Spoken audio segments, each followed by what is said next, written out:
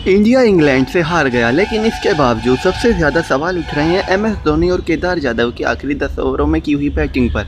और इंडिया से ज़्यादा पाकिस्तान में मातम है भारत की इस हार का। पाकिस्तान वाले लोग तो ये कह रहे हैं कि धोनी तो अपना मन बना कर आए थे कि वो रन बनाएँगे ही नहीं। और पाकिस्तान के टीवी एक्सपर्ट्स का कहना था कि धोनी जब हार्दिक पांड्या और ऋषभ पंत रन बना रहे थे, उसके बाद जब ऋषभ पंत आउट हो गए तो धोनी ने ही आकर हार्दिक पांड्या को रन बनाने से रोका और खुद उन्होंने डॉट बॉल खेली जिससे हार्दिक पांड्या पर दबाव पड़ा और उनकी विकेट चली गई, वरना हार्दिक पांड्या मैच जिता देते इंडिया को और धोनी नहीं चाहते थे कि पाकिस्तान सेमीफाइनल में पहुँचे। इसके बाद उन्होंने केदार जाधव को भी रन नहीं बनाने दिए और उन्होंने तब एक दो चौका छक्का मार के दिखाया जब काफ़ी देर हो चुकी थी, या फिर यूँ कह लीजिए वहाँ से भारत जीत ही नहीं सकता था। खैर, पाकिस्तान ऐसा सोचता है तो सोचता रहे, लेकिन हमें तो इतना पता है कि हार कर जीतने वाले को भी बाजीगर कहते हैं, भारत की हार में भी जीत है।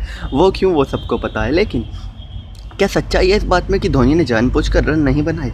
खैर रोहित शर्मा जब मैच के बाद प्रेस कॉन्फ्रेंस में आए तो उन्होंने इस बात का खंडन किया और उन्होंने बताया कि धोनी क्यों रन नहीं बना पाए। रोहित शर्मा का कहना था कि पिच आखिर में काफ़ी ज़्यादा धीमी हो गई थी और नए बैट्समैन के लिए एकदम आते ही शॉट लगाना काफ़ी ज़्यादा मुश्किल था। और इसीलिए आखिरी के दस ओवरों में धोनी और धोनी और केदार जाधव के बल्ले पर गेंद नहीं आ रही थी। लेकिन वहीं जो लोग क्रिकेट एक्सपर्ट हैं, उनका कहना था कि बल्ले पर गेंद आए, ना आए, जब दस ओवर में सौ रन चाहिए होते हैं तो बल्लेबाज कोशिश करते हैं। लेकिन धोनी और जाधव ने बिल्कुल भी कोशिश नहीं की जीतने की। खैर, जो भी हो, हकीकत, धोनी जाने जादव जाने, जो बल्लेबाज की जगह खड़ा होता है, वो बेहतर समझता है। लेकिन इस बात में कोई शक नहीं कि जब रोहित शर्मा सौ रन बना के गए और वो कह रहे हैं कि पिच पे बॉल बल्ले पे नहीं आ रहा था सेकंड हाफ़ में तो इसका मतलब बॉल बल्ले पे नहीं आ रही थी। लेकिन धोनी ने जो कोशिश की, वो तब की जब दो ओवरों में इंडिया को पचास से ऊपर रन चाहिए थे, जो कि कहीं भी पॉसिबल नहीं था।